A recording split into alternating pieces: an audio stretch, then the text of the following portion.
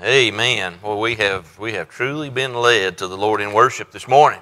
I am thankful for that, and I'm glad you're here today. I pray your heart's been stirred and you have uh, been moved as well. God has been more than gracious to us, and uh, we are excited to get to worship Him. And we're excited about that service on uh, the 20th, that Sunday evening. Uh, please go ahead and make preparations for that. Plan on being here. It's going to be a wonderful time together candlelight service. Uh, I don't know, you got a skit, a drama, no skit or drama this year, but uh, it is going to be a wonderful time uh, together. And uh, we, uh, it's always a special time uh, on those evenings or those Sunday nights just before Christmas. this is one of our favorite times of year. If you will, take your Bibles and turn with me to the book of Matthew. The book of Matthew, Matthew chapter 2. Our thoughts have been on Christmas. We would really like to have uh, maybe started at a different place as we think about the Christmas story, but this is uh, this is the way the Lord has has led us today. I want to encourage you come out on Wednesday nights. On Wednesday nights, we're going through the book of John, the Gospel of John. It's a very exciting uh, book. Uh, it's a book about belief, and it's a book about faith. Uh, so we are very excited to be able to, to go through this book. And on these Wednesday nights, the Lord has been blessing greatly. And we want to ask you to, to come and be a part of that. Uh, and uh, we, uh, we need those midweek services. They are an encouragement, the worship, and then uh, again the Word. Uh, so, uh, the book of Matthew, Matthew chapter 2, if you're able, I know you just sat down, but uh, you just eat for Thanksgiving, you're about to eat for Christmas, you need a little workout today. Uh, so stand up, take a deep breath, uh, get some oxygen to uh, in your uh, blood and to your muscles, uh, and that way you'll be wide awake to hear what the Lord has to say today. and so our thought today, as we thought about these wise men, is on the gifts of Christmas or the gifts of the wise men. they brought gifts. Uh, but as I thought and I prayed and I, I, I, studied about them and thought about them and just put myself in their shoes, uh, you're going to see, I think, today that, that really they were given the gift. Uh, I know we've been given the greatest gift of all. They've sung about it today. We've been given the gift of Jesus and uh, the redemption He brought you and I. That He died, He shed His blood while we were yet sinners. He knew who we were. Better than that, He knows who we are. Uh, yet He still died for us. Uh, what, a, what about that? I mean, just a love so great we cannot comprehend. So that is the greatest gift of all that He would save us, make us His, and give us a home in heaven and give us abundant life in this life. But the wise men, they brought these gifts. And as we look at their journey, I think you're going to see that maybe they were given one of the greatest gifts. And so look with me in Matthew chapter 2, verse 1. Now, the Bible says, Now when Jesus was born in Bethlehem of Judea in the days of Herod the king, behold, there came wise men from the east to Jerusalem, saying, Where is he that is born king of the Jews? For we have seen his star in the east and are come to worship him. When Herod the king had heard these things, he was troubled, and all of Jerusalem with him. And when he had gathered all the chief priests and scribes of the people together, he demanded of them where Christ should be born. Verse um, 5. And they said unto him, In Bethlehem of Judea, for thus it is written by the prophet, And thou, Bethlehem, in the land of Judea, art not thou the least among the princes of Judah, for out of thee shall come a governor that shall rule my people Israel. Then Herod, when he had privately called the wise men, inquired of them diligently what time the star appeared, and sent them to Bethlehem, and said, Go and search diligently for the young child, and when ye have found him, bring me word again that I may come and worship him also. When they had heard the king, they departed, and lo, the star which they saw in the east went before them till it came and stood over where the young child was. When they saw the star, they rejoiced with exceeding great joy. And when they were coming to the house, they saw the young child with Mary his mother, and fell down and worshipped him. And when they had opened their treasures, they presented unto him gifts, gold, frankincense, and myrrh.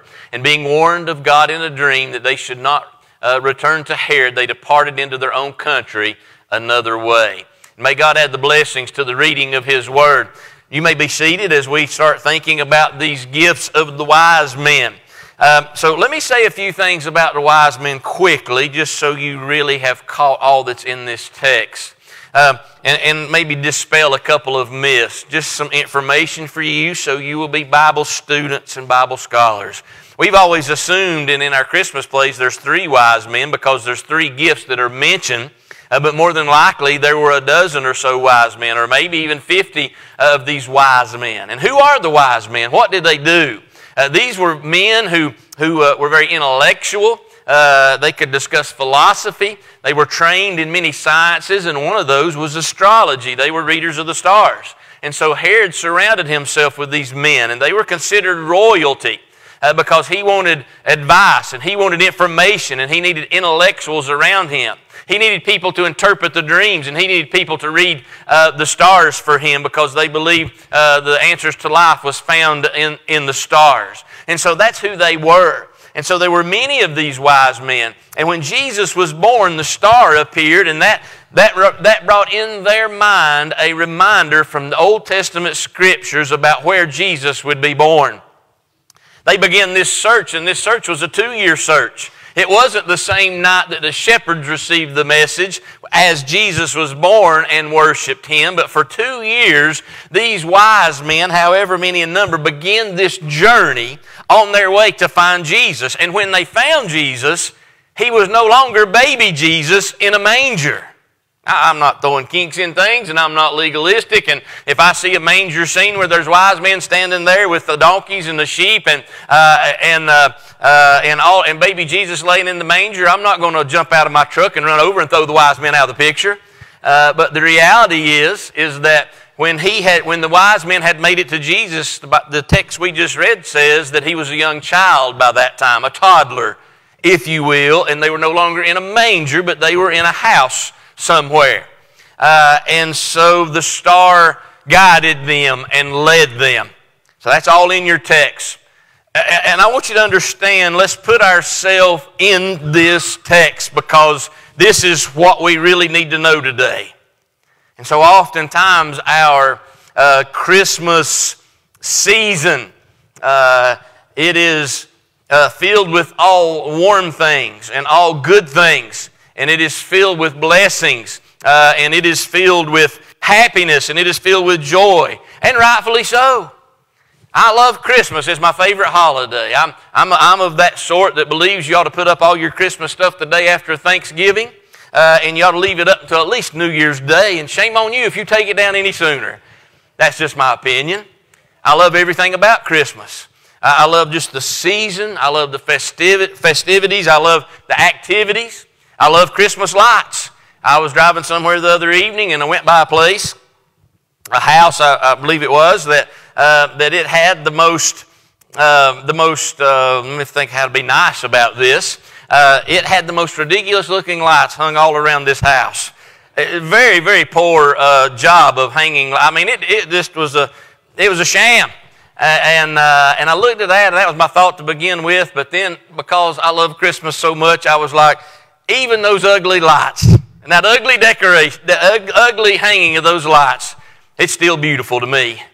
Just because I love, I love all about Christmas. I've come over here. I love the fact that uh, these ladies have all these lights in this church on timers. And, and so uh, 7.30, 8 o'clock, I'll stroll through here during the week and the whole church, the lights are out in the church. But all these lights are on these trees and, and these wreaths and things like that. And it just warms my heart. I love it. Uh, I love the giving of gifts. I love that part of Christmas. Uh, I love the eating. I love the, the fact that you see people maybe you usually don't get to see, and, and you get to spend a little bit time with them for this one time of year. And for many people, we know this one time of year in a few minutes is enough. Amen? You got any family like that? They say the same thing about me and you too, so that's okay. We can say it about them because they've already said it. And so Christmas is just wonderful. I can't speak of that enough. I, I, I just love it. It's my grandpa's favorite holiday because he spent so many uh, Christmases in the South Pacific and, and there uh, on, on uh, formerly Japanese held islands. And, and so he always loved being home uh, for Christmas. Well, I love it too. But I want to break our, I want to break a myth, if you will, and I want to kind of shatter in a very nice and pleasant way our thoughts that we have of that first Christmas. And I've got a message I preach on Mary, and I don't know if I get to preach it this year, but it's been, uh, it's, I've, I've, promised the Lord when, I, when He gave it to me the first time that I'd preach it every year. uh, because it's so moving and it's a, it's a slice of reality for us. But that first Christmas was not filled with all of this warmth and, and all of these, these smiles and, and, and lights and decorations and blessings and excitement. The first Christmas was nothing like that. So let's talk about these wise men and what it was like for them. So as Jesus was born, they saw the star in the sky. They got a glimpse of that, that star in the night sky. And it moved them, and not only did it move them, uh, but it called them, if you will, uh, and it began to lead them. They saw that star and they knew that they had a purpose, uh, a purpose greater than what uh, Herod used them for. I mean, they were considered royalty. They, they were surrounded uh, by royalty every day, and, and they were in the king's presence. And when the king needed advice, he come to them. And, and so they were in an elevated position. And so greater than what they were doing at the time, they had this calling. They had this star that was leading them deep inside of them they had been moved and there was now suddenly this purpose on their life. Let me stop right there and say just say this before we go any further because you're going to need to hear this before i before i break out the really bad from this text. You, you need to know that god has a purpose for your life He's got a calling uh, on your life. And, and young people, let me encourage you. And I say young people, and I mean this for, uh, from uh, birth to, to age uh, 100. I don't think anybody here's that old right now. But uh, so if you're anywhere in that age range, God's got a call and a purpose on your life. You, you need to know that. Uh, but, but particularly young people, because at my age, I'm 49 and holding for a long, long time, is that uh, we kind of have our mind made up and our path set and the direction our course is made. We're not going to change it. But for young people, you're, you're uh, malleable, you're shapeable, you're moldable. And God can still touch your life and, and guide you, and you'll listen. I hope you'll listen. So, young people, listen to me. Greater than you trying to figure out how you're going to go to college, what you're going to go to college for, where you're going to go to college, who you're going to date, who you're going to marry, you need to know this. And you need to ask this is that God's got a purpose for you. I'm going through puberty, my voice is squeaking, so you hang on. It's part of my Christmas joy, folks. God's got a purpose for you. He's got a call upon your life. If you'll get still and if you'll listen and if you'll ask Him, What is your call on my life? What is your purpose for me? What do you want me to do with my life, Lord? Because my life's not my life, it's your life. And so one of the things that needs to be done here in, this, in an invitation in a little while, and I won't come back to this because I won't remember it, but one of the things you need to do is, is you need to come to this altar and you need to say, Lord, here's my life. I take my hands off of it. I relinquish any rights that I have to my life. Lord, you know my dreams. You know what I want so bad. You know what my ambitions are. You know what I desire. You know what I like. You know who I like. And you know where I like, but Lord, here today, I take my hands off all of my life and I give you full rights to my life. So lead me in your purpose. Reveal your purpose to me. Show me your calling on me. And Lord, may you get the glory for all that I am and who I am. And so that's what you need to do today. And so these, these wise men, they had this star that was guiding them, and it was leading them, and it was moving them. And many adults here today, they will testify to you that, that through life, that, that there's been this leading in their life. And I believe the Lord can so lead you. I believe sometimes He'll lead you places you didn't want to go, to do things you didn't want to do, to be maybe what you didn't want to be. But the Lord's leading you all along life's way. And so now watch this just for a minute. I want you to see this. So this star led these men. And being from northern Arabia, much of their travel was at nighttime. The daytime was too hot. Uh, and, and so even today, those desert travelers over there and those, those native people, they, uh, during the daytime, they stay in shade, they rest and stay out of the sun. And in the evening hours and nighttime, they get up and they begin to move. And so these wise men moved at night and they were led by that star as the, as the scripture tells us. Uh, and, uh, and it was, let me say this, and so they were led by this star. You got to know that for a star to shine at nighttime, there has to be darkness. Now, I understand that's not rocket science. I get that, so don't look at me like I'm stupid. But when we, when we think about this star leading these wise men, you do know that there had a prerequisite to being led by this star was that there had to be darkness over the land. And so, through this dark journey, being led only by a star, they encountered many dangers and many snares. At nighttime, you have to face all of the criminals that are in the desert, robbers, if you will, who will come in and rob you, take everything you have, and leave you there just uh, deserted and alone. Uh, you've got all of the wild animals at nighttime that you face. And I want you to understand this that, that as you're in the nighttime, as stars fill the sky and you are led only by starlight, you don't see the details of what's ahead. I've spent a lot of time outside in just various activities of my lifetime at night. A lot of time at nighttime in the outdoors.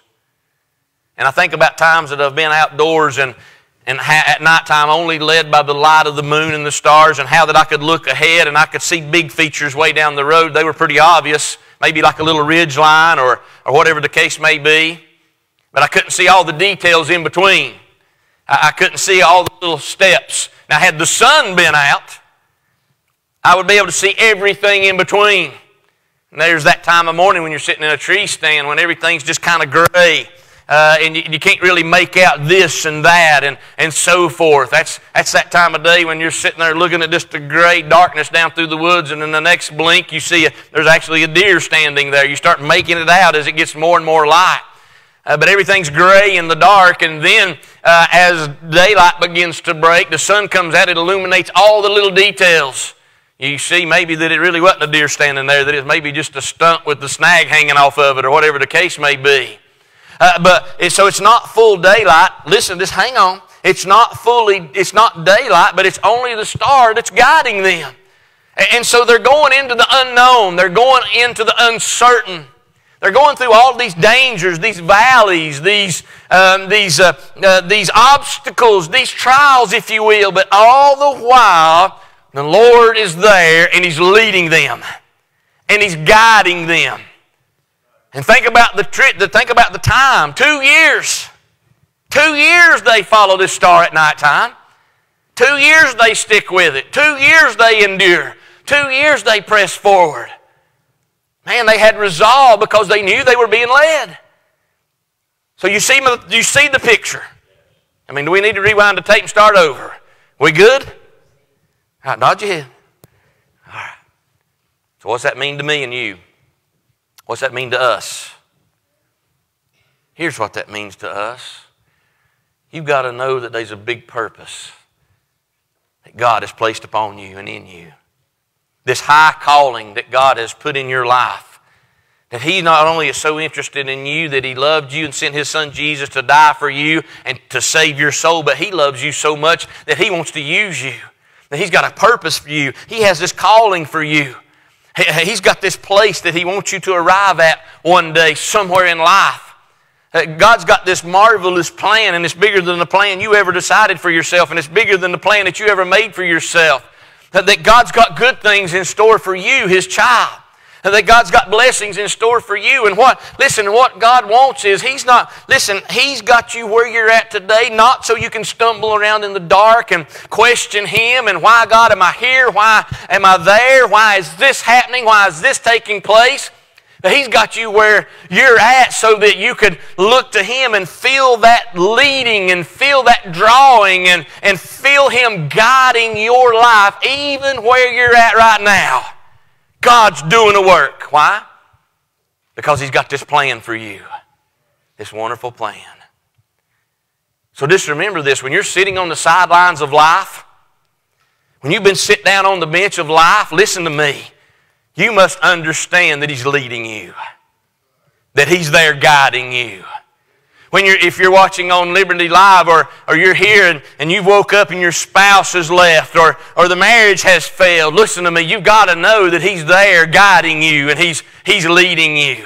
See, it's in the dark of night. It's in the toughest of times. It's when darkness fills the sky around you. You must understand and you must know that He is ever there leading you. Why? Because He's got this place.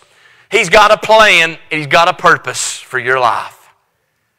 Maybe you've lost your job. Maybe you're watching right now or you're here and, maybe you've just lost your job. Then you've got to know that He's beside you and He's still guiding you and He's still leading you. Maybe, uh, uh, maybe a friend has walked away from you or turned away from you and left you, then you've, you've got to understand that He's there guiding you. Maybe you've loved somebody you shouldn't have loved, but He's there guiding you. Maybe somebody, uh, maybe, uh, maybe that it's your career choice or your finances, or maybe the doctor has given you a bad report this week. You must know that He's guiding you, He's drawing you, He's leading you. See, all along life's way, oftentimes when the valleys come, when the darkness come, when the trials come, when the struggles come, we say, Woe is me, and we look at the struggle, and we look at the trial, and we look at the burden. And unfortunately, this is so, so true that even the most spiritual of us, that it's years down the road before we look back and we can see those trials as a place where God led us, and He was guiding us through them.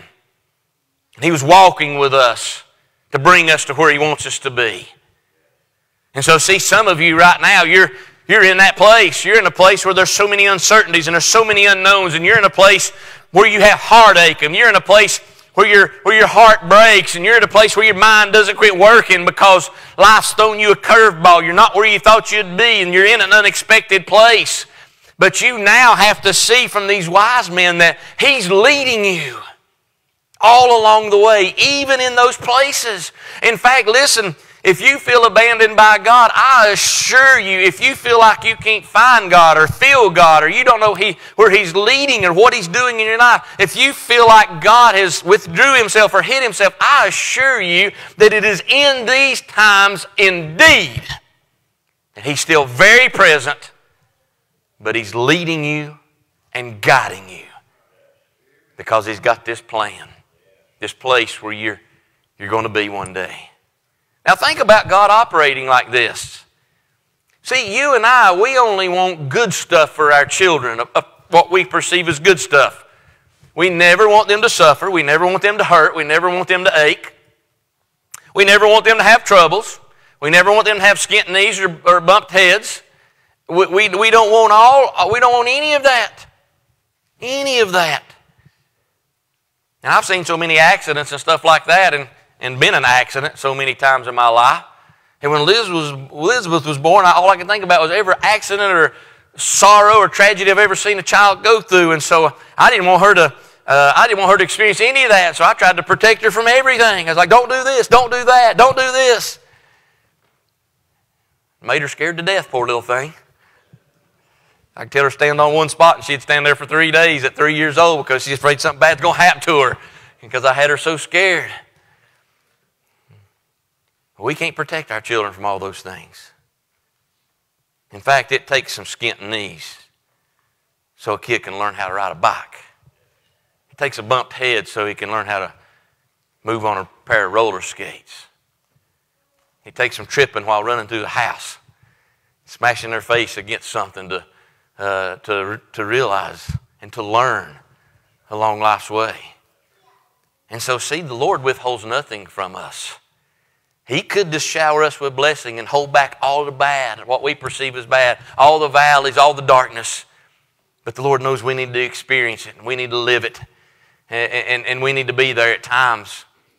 And what we've got to know is this He's leading you even in those times.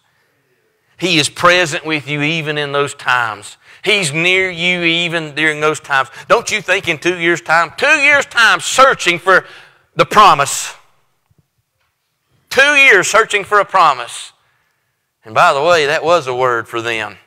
That was a promise to them. That they were going to find the Christ child. The scripture had spoke to their heart. Two years waiting on a promise.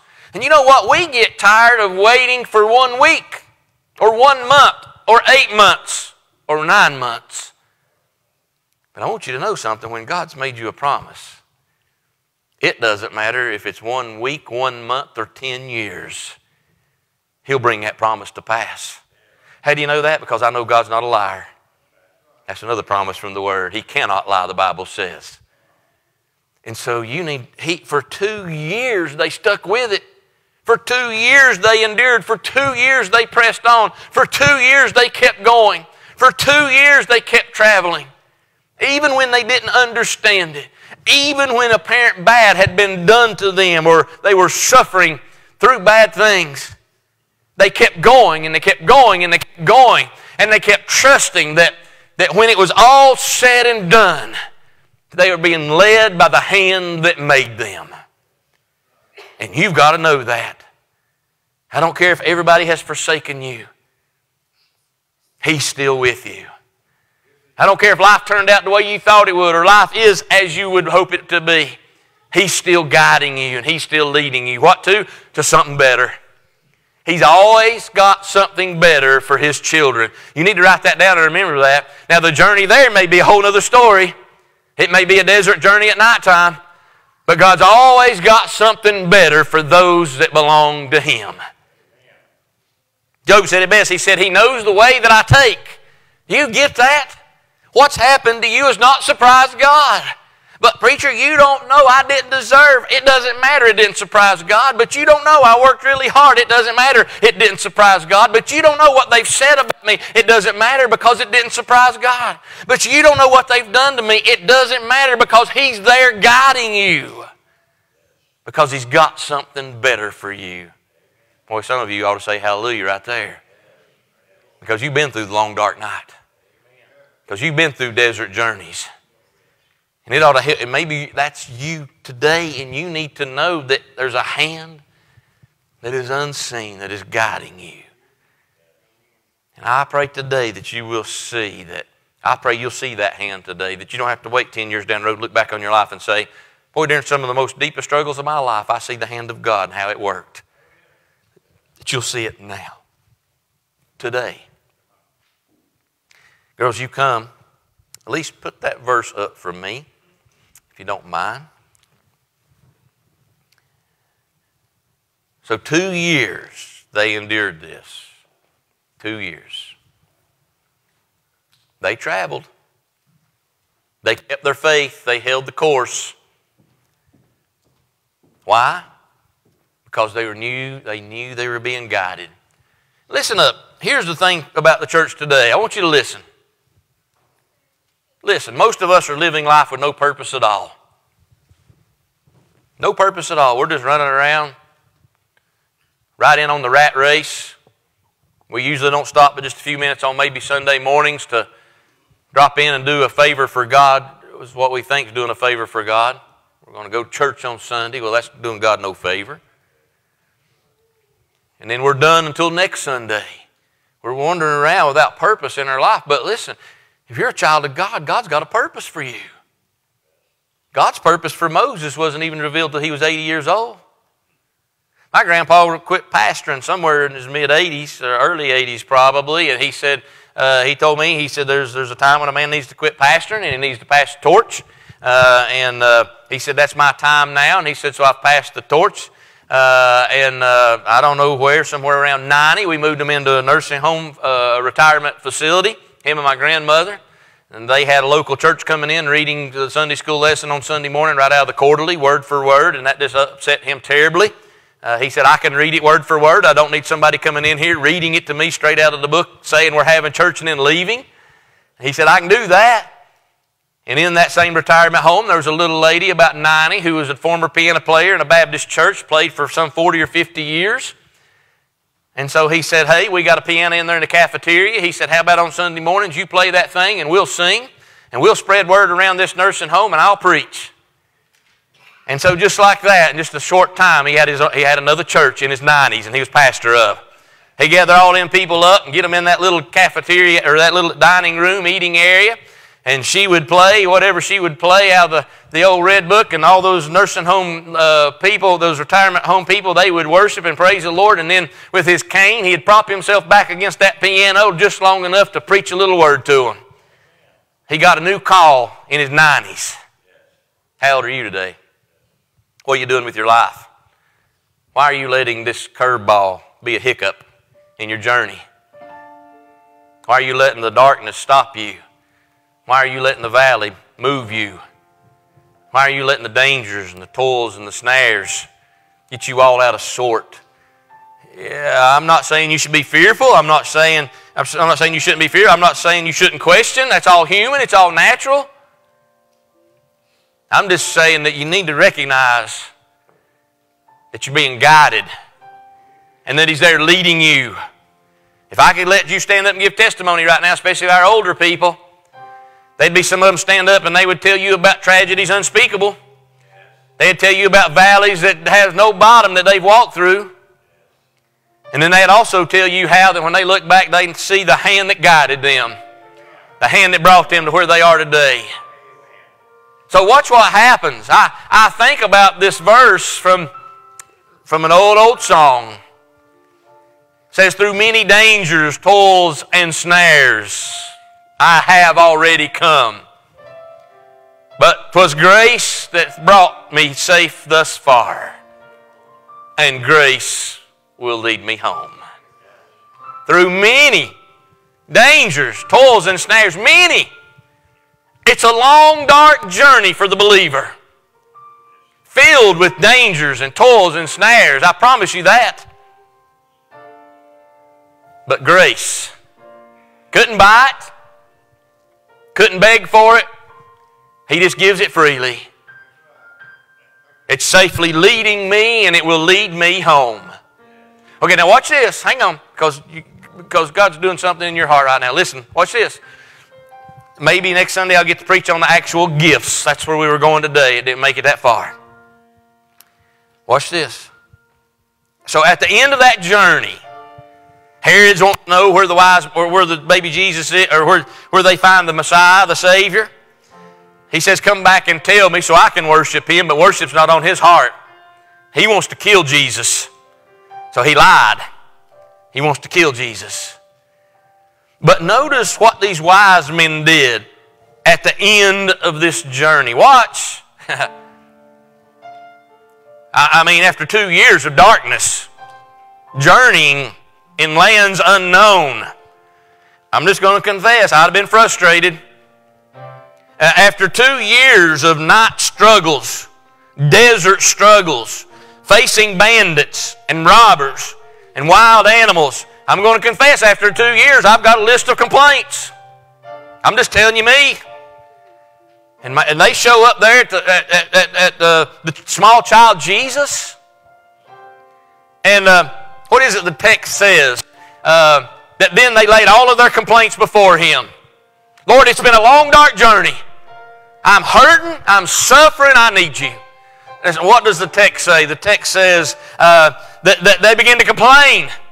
You, you called us and put a purpose on us, but you let all this happen. Why'd you do that? No, no, that's not what I said. What does the text say? The text said, does the text say they, they fell at his feet and said, I don't understand why I've been through what I've been through. I don't understand why life sidelined me. I don't understand why friends walked away from me. I don't understand why that it turned out this way. I had a plan.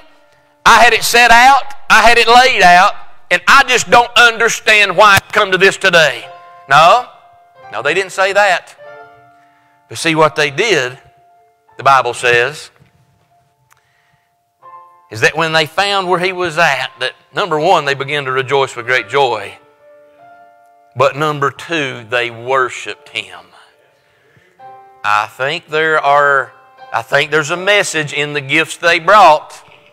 I've got it in my heart but I think the most important thing to see is this is that at the end of this two year struggle, they were resilient, they purposed, they knew they were being led, they were being guided. At the end of all of that, they still were able to fall at his feet and bring these gifts. And by bringing these gifts, here's what they said It's all about you. It's all about you, Lord. It's not about us. It's not about how discouraged I got along the way.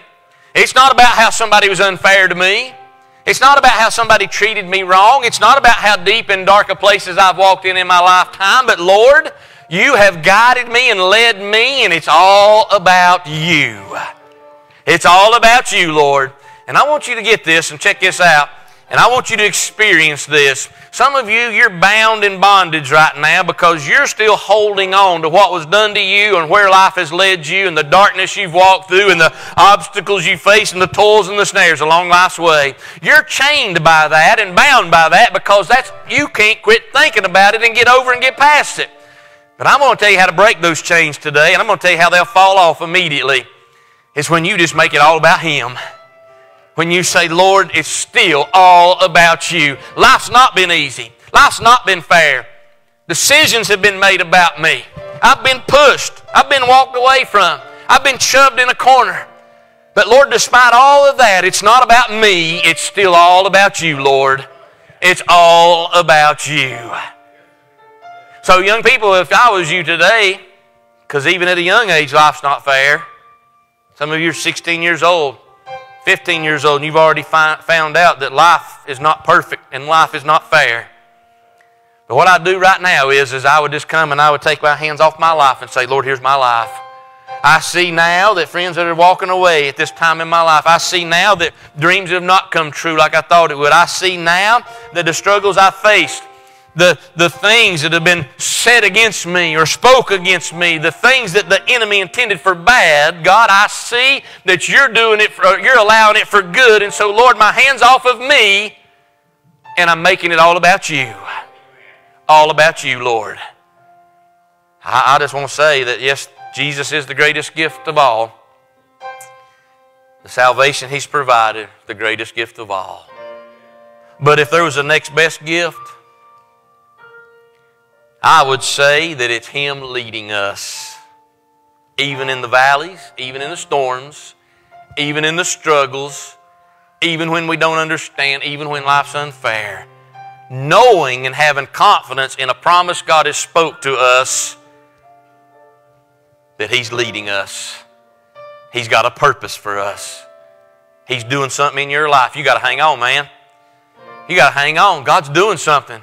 God's taking you somewhere, and what He's taking you to is better, is better than something you've ever known. It's, it's bigger than anything you've ever known. You got to believe. And you got to know that He's guiding you. And I think now would be a good time just to say, Lord, I wouldn't have chosen this way or this path. You chose it.